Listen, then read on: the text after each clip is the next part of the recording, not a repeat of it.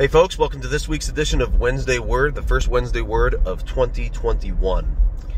Uh, this past Sunday at Fort Thomas was uh, an important Sunday for us. It was not only the first service of a new year, but it was also the last service that we are holding in the place we've called home since September of 2015.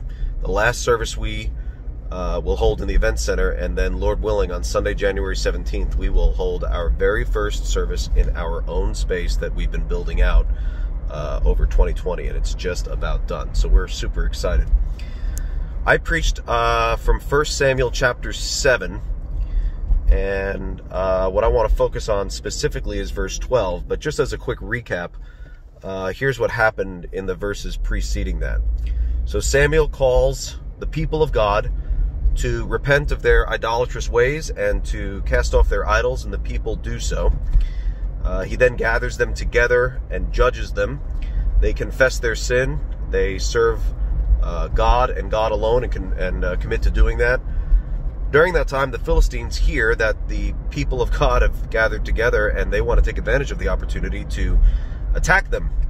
And so they gather together and they start uh, moving in towards uh, the Israelites, and um, the people of God cry out to Samuel and say, Pray to God on our behalf that the Lord would save us. And Samuel uh, gets a lamb, sacrifices it unto the Lord uh, in an act of worship, and uh, prays for the people.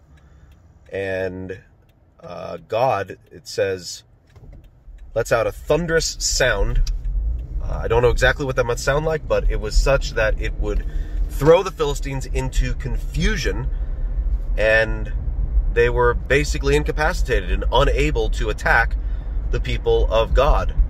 And then after that, the people of God go forth and attack the Philistines. And then after that, God restores to the people the cities that had been taken in days gone by. And so God not only answers Samuel's prayer, but goes well beyond it and gives them uh, infinitely more than they asked for and certainly more than they uh, deserved. And in 1 Samuel chapter 7 verse 12, uh, it says that Samuel took a stone uh, which he called an Ebenezer, which means stone of help, and he said, "Till now the Lord has helped us." Till now the Lord has helped us. And so, what I focused on at Fort Thomas, and what I would call to your attention, is the two words, till now. Sometimes God does an amazing work in our lives, and we are unbelievably aware of the fact that God has helped us. God has answered our prayer. God has uh, done something great and shown himself to be mighty and true. That's not exactly what Samuel says, though, right? He, sa- he doesn't say, now the Lord has helped us. Um, now, now that he's done this good thing, he has helped us. Up till now, not so much. But now the Lord has helped us. No, Samuel says, till now, up until this point, the Lord has been helpful. He's been good. He's been faithful. He didn't need to do this great thing that he did for us to be helpful. He's always been helpful. He's always been good. Um, but till now, the Lord has helped us. So, including what he's just done, but even in days gone by, even in difficult times. And so, for us at the Fort Thomas campus, it's not that God has been good to us now because he's given us a place that we can call like our forever home and we've built out a space that's custom built for us, the first space we've ever had that was built with us in mind. It's not a movie theater, it's not an event center, it's literally a church building. But God has been faithful to us and helped us all along the way from 2013 in a movie theater into an event center and right up to the point now where we would get our uh, our facility. And so I want to challenge you to think through that. Till now, the Lord has helped us.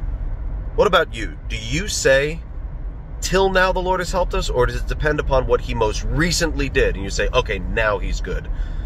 Because we need to be able to look back upon our lives the good times, the bad, the uh, easy times, the difficult times, and we need to be able to say, till now the Lord has helped us. He's always been helpful. He's always been faithful.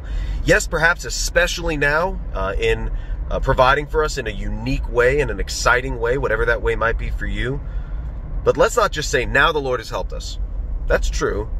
But let's also acknowledge, He's been helping us. He's been good. He's been faithful and true. Not just now the Lord has helped us, but till now.